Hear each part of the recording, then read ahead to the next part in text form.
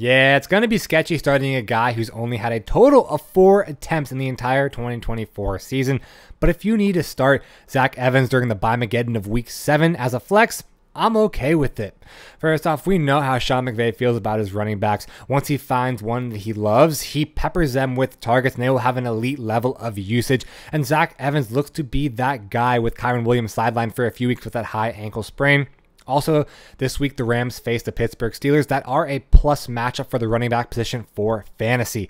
So if you are desperate, which I feel like a lot of people will be in week seven, Zach Evans looks to be a pretty decent flex.